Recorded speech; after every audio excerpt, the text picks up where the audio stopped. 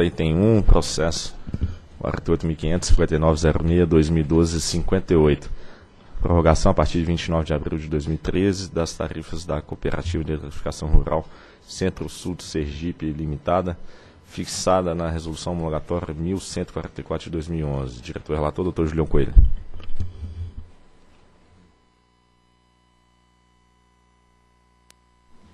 Bom, senhores, aqui é só prorrogação de tarifas.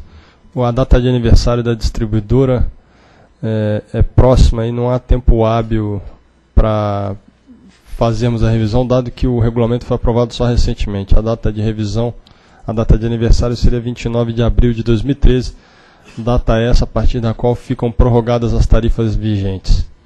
Passo ao dispositivo em que voto por prorrogar a partir de 29 de abril de 2013 as tarifas da Cercos fixadas nos anexos 1, 2A e 5 da Resolução Homologatória 1144 de 2011. Definir os valores, os novos valores do quadro S, serviços cobráveis, com vigência de 29 de abril de 13 a 28 de abril de 14, desobrigar a Cercos do recolhimento de valores referentes à RGR e à CCC e estabelecer os novos valores da cota anual da CDE e do PROINFA aplicáveis à cooperativa. É o voto.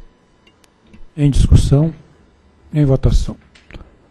Voto com o relator. Também voto com o relator. Então, proclamo que a diretoria decidiu por prorrogar, a partir de 29 de abril de 2013, as tarifas da Cercos, fixada nos termos da resolução 1144. Também definir os novos valores do quadro S, serviços cobráveis, com vigência 29 de abril de 2013 a 28 de abril de 2014, desobrigar a cercos de recolhimento dos valores da RGE e CCC, em função das suas extinções, e estabelecer os novos valores da cota anual do CCC e, desculpa, CDE e PROINFA. Próximo item.